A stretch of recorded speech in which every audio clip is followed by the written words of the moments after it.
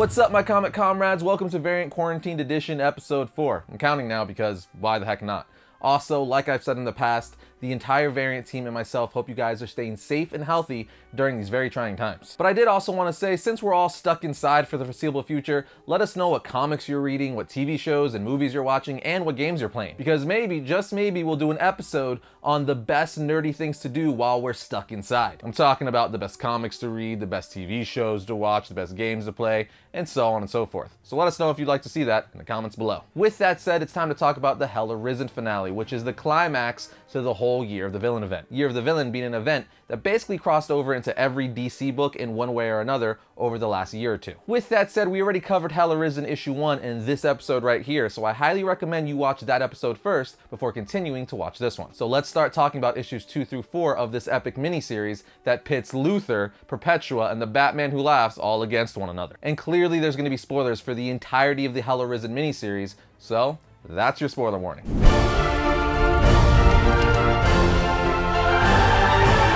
Diving right in, issue 2 of Hell Arisen starts off with Lex facing off against an infected Supergirl, Shazam, Blue Beetle, Donna Troy, and Hawkman. To which Luthor says, It's insulting, really. Not to me, but to you guys. The Batman who laughs would not risk coming to my laboratory himself so he sent his lackeys while he watches on a live feed. It shows how disposable you are to him. Shazam then says, Watch your mouth, Luthor. You might not have the balls to admit how messed up you are, but your new powers are worth exactly squat. You're just like the other insects out there. We're here to squash you. Luthor replies, Remember for a moment that I have spent my life putting myself against the most powerful being on this planet. That's why your boss wouldn't face me himself. It was never my powers that were going to kill you, it was my mind. And just like that, the infected League starts attacking Lex but Lex uses his Lexbots to help hold them off. Blue Beetle, now going by the name of Scarab, says, Where did he go? as Lex's computers start infecting Scarabs.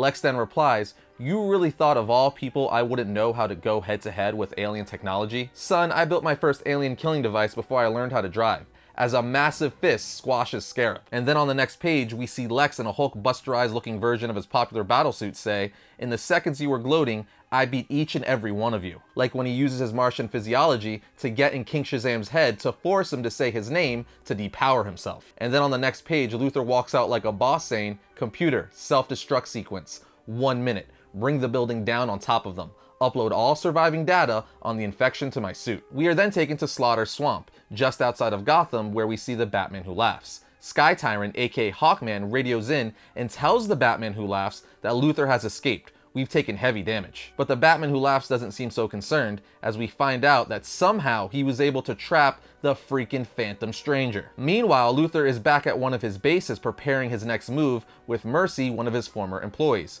who is reluctant to work for Luthor again, but ultimately she does anyway because money, and she has a liking to Lex. And at the end of the issue, Lex breaks into the Hall of Justice to go inside of the cell of the infected Jim Gordon to get a blood sample from him so he can engineer a formula to defeat the Batman who laughs and reverse everything he's put into motion. But wouldn't you know it, more infected League members find Lex and are ready to brawl. Then on the last page of the issue, Mercy goes to the Joker saying, Lex needs your help, and he needs it now. To which the Joker says, while laughing mind you, now that's funny. This brings us to issue 3. At the beginning of the issue, the infected league consisting of Miss Martian, Hawk and Dove, Booster Gold, Beast Boy, and more make quick work of Lex. They then start dragging him away and saying they're gonna hurt him until he can't think straight and then throw him into a cell. Then the infected Jim Gordon says they're gonna keep infecting the heroes of this world until they've got them all, and that's when the real party starts. But just as Gordon is done saying that, the Joker shows up saying, Did somebody say party? Oh, sorry. I think I have the wrong room. Is this the gift shop? And Miss Martian says, Is that? And Joker replies, Yes, it is. Then Joker pulls out a machine gun and starts letting loose on the whole league, forcing them to take cover and leave Lex. Joker then walks up to Lex saying, Did somebody hurt my Lexi Poo?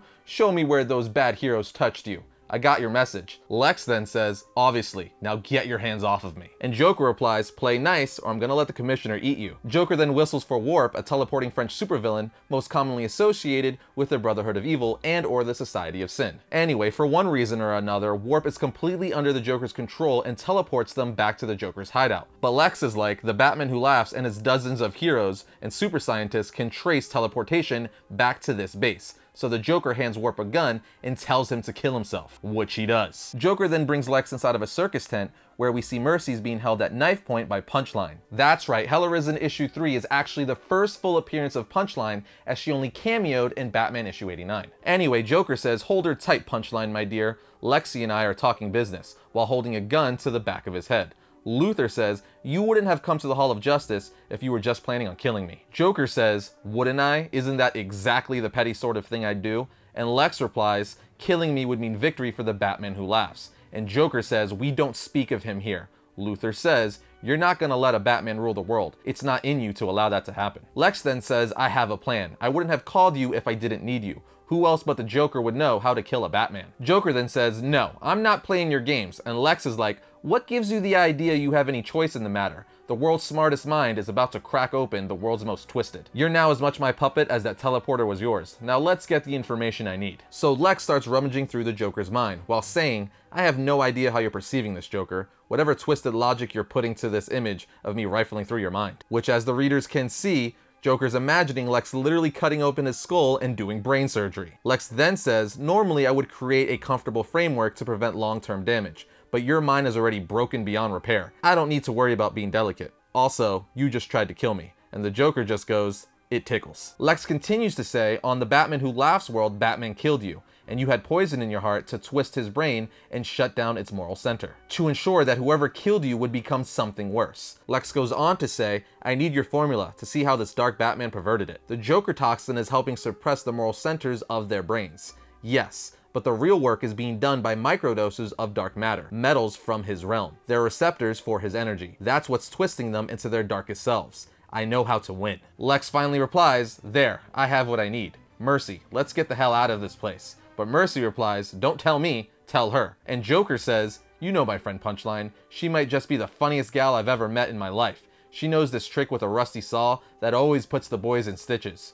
If they survive, of course. Forgive me, my dear. My friend Lex here has never had much of a sense of humor. It's why he doesn't see how funny this all is. Joker and Lex continue to have a back and forth for a bit before Joker says, Punchline, I think it's time we moved on from this base. It's spent. Lexi, be sure to remember to lock the doors, feed the gorilla, and turn off the gas when you leave. And if you die, make sure you kill him first. After this, Lex has Mercy give a message to some targets that Lex has picked out, saying tell them high noon at the Hall of Justice. And on the next page, we see Lex at the Hall of Justice saying, Batman, show yourself. And then the Batman Who Laughs comes out with his infected league ready to fight. And just then, Lex is joined by several villains, including Lobo, Solomon Grundy, Captain Cold, and more, who start fighting the League. Lex then tells the Batman Who Laughs, I've been building my own army this past year, and when it comes to who's going to be able to be the baddest of the bad, I bet on villains. And this, my friends, brings us to the fourth and final issue of the Hell Arisen series. And let me just say, some crazy things are about to go down. Issue 4 opens up with Lex telling Mercy his life over the past several years, starting with the Forever Evil event from the New 52, where he destroyed the Crime Syndicate, as well as telling her how he joined the Justice League,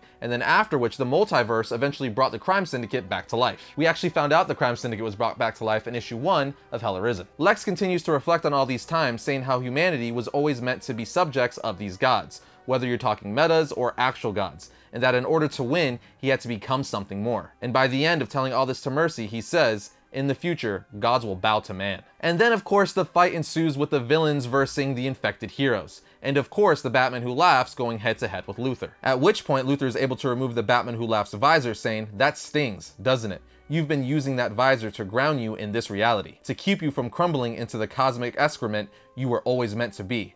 How long does it take? And the Batman Who Laughs says, not long enough, as he's attached a bunch of Batarang bombs to Luthor and they explode. The Batman Who Laughs says, I hope your goddess is watching right now. I want her to witness your loss. Luthor then pulls out a syringe and says, then you should have gone for the kill, and stabs the Batman Who Laughs in the neck. And Batman says, What is this? Luthor says, It's a cure in a manner of speaking. The dark multiverse energy flows through you, as a creature of the dark, but your victims were made of the wrong kind of matter you injected enough dark metal into each of your targets to essentially broadcast the energy inside yourself and twist them into the dark. I've cut it off at the source. And the energy in you won't be able to spread anymore, and your infection should wear off any second now. As Luthor is saying this, everyone who was infected by the Batman who laughs, like Jim Gordon and the Justice League, finally revert back to normal. Long story short, Lex brings the Batman who laughs to Perpetua, basically being like, look what I did for you. I defeated your greatest adversary. But of course, the Batman who laughs is just that, Batman, meaning he's not out of tricks. He tells Perpetua, you think you destroyed the Justice League, but they were pulled to safety by the great powers of the universe, and set on a course that will topple you if you don't act quickly. Lex is like, you're lying.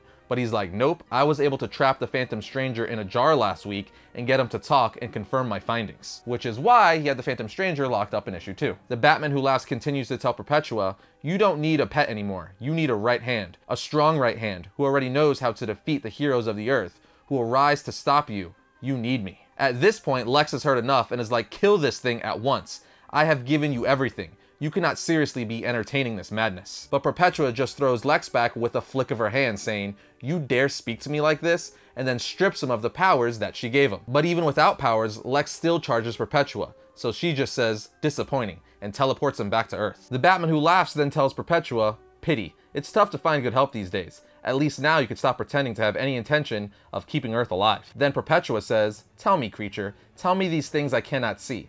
Tell me how to stop the heroes from their current course of action. The Batman who laughs replies, Oh, I think you'll find it's a good one. Look into my mind. See what I have in store for them. So she does and says, Oh my, and starts laughing hysterically. And then on the last page of the issue, we see Lex inside of a huge crater on Earth where Mercy says, Lex, you're alive. And he replies, No, we're all dead.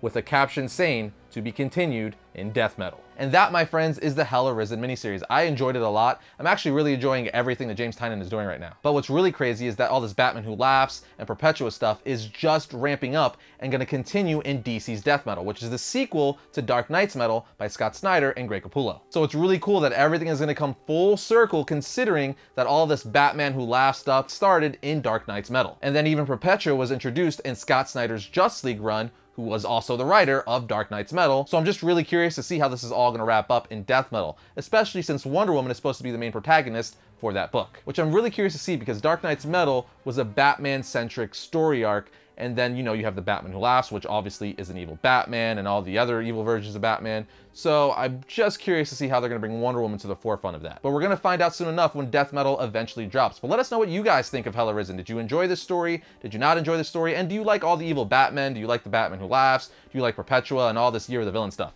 Let us know in the comment section below. And just like that, that's going to bring another episode of Variant Quarantine Edition to a close. But fret not, we'll be back in a couple of days to bring you guys some more comic book themed content. Until then, though, check out this. Batman Who Laughs action figure. He was chilling next to me the whole time. Is this like a flex? Is this like a weird nerdy flex? I don't know. Either way, I'll see you guys next time when I talk about all things comics.